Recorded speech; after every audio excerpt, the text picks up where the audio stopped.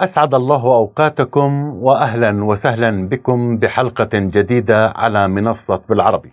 وساطة استغرقت سنوات على موائد المفاوضات العراقية والعمانية كللتها الرعاية الدبلوماسية الصينية توجت بإعلان اتفاق عودة العلاقات الدبلوماسية والأمنية بين الجارتين السعودية وإيران أعلنت في بيجين في وقت توجهت فيه أنظار المراقبين والمحللين للتكهن باتفاق تطبيع وشيك بين السعودية والاحتلال جاء البيان الثلاثي الصيني السعودي الإيراني ليفاجئ كل الأوساط بولادة حلف جديد مغاير تماما لكل التوقعات.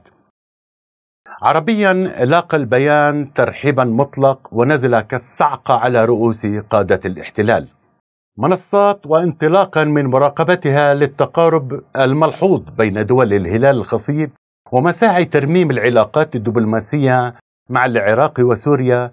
كانت جهودنا مدار بحث نوجه أسئلتنا في كل حواراتنا السياسية بأن عودة العلاقات مع الدول التي تلعب فيها إيران دور سياسي وعسكري سيفرض على الدول التي تسعى لترميم وإعادة بناء علاقاتها مع سوريا والعراق تفاهمات مع إيران رغم القطيعة الدبلوماسية ونتيجة عدم توفر معلومات كانت الإجابات تنحصر بالتأييد فقط لأي تفاهمات مع إيران.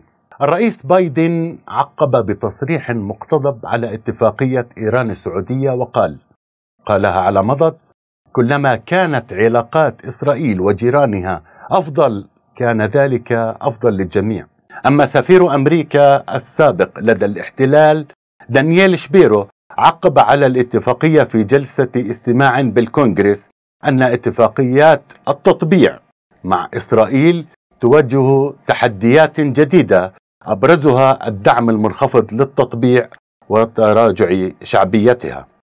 المملكة الأردنية الهاشمية التي تسعى لترميم علاقاتها بالجارتين سوريا والعراق والسعي لبناء حلف عربي جديد رحبت على لسان خارجيتها باستئناف العلاقات الدبلوماسية بين الجارتين وثمنت دور عمان والعراق في التوصل لهذا الاتفاق وأعربت عن أملها بأن تسهم هذه الخطوة بتعزيز الأمن والاستقرار في المنطقة بما يحفظ سيادة الدول وعدم التدخل بشؤونها الداخلية وبما يخدم المصالح المشتركة.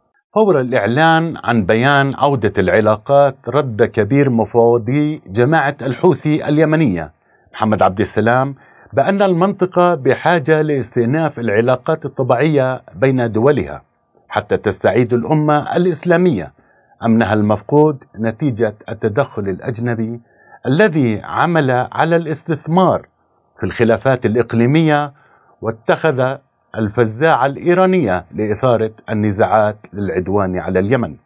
الخارجية العمانية التي بذلت مساعي استمرت سنوات للمصالحة رحبت بهذا الاتفاق وأعربت عن أملها بأن تسهم هذه الخطوة في تعزيز ركائز الأمن والاستقرار في المنطقة. العراق أيضا كشف البيان أنه لعب دورا محوري لتقريب وجهات النظر بين الجارتين.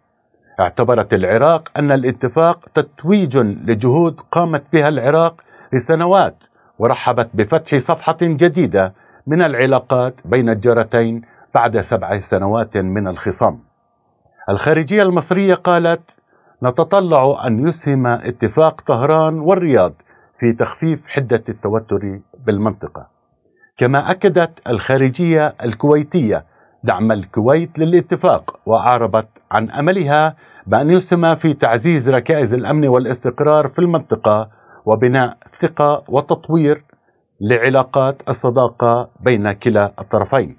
الشارع الإسرائيلي الذي يشهد انقساما وتوترا أمني غير مسبوق تلقى بيان الاتفاق بتبادل الاتهامات بين قياداته في روما التي يتواجد فيها نتنياهو إلى المعارضة في تل الربيع بعدما كانوا يلمحون بأن اتفاق وشيك للتطبيع مع كيانهم والسعودية على وشك التوقيع. المسؤولين الإسرائيليين المرافقين لنتنياهو في روما أوجزوا للصحفيين بأن الاتفاق جاء نتيجة ضعف بايدن وبنت ولبيد في التعامل مع إيران خلال الحكومات السابقة.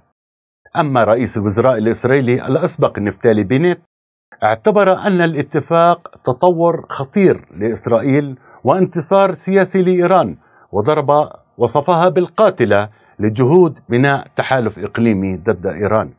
وقال هذا فشل ذريع لحكومة نتنياهو وإهمال سياسي وضعف عام. يائير لبيد رئيس الوزراء السابق وصف الاتفاق بأنه فشل كامل وخطير للسياسة الخارجية لحكومة نتنياهو وأنه انهيار لجدار الدفاع الإقليمي الذي بدأت إسرائيل ببنائه.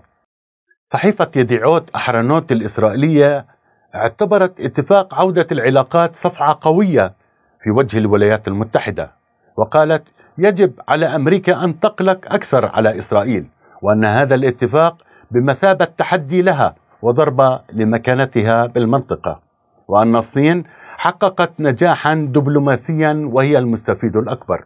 اتفاق سيترتب عليه أحداث كثيرة في المنطقة العربية وتشهد انفراجا في علاقات الدول العربية وإعادة اللحمة بعد قطيعة استمرت واستثمرت لعدة سنوات.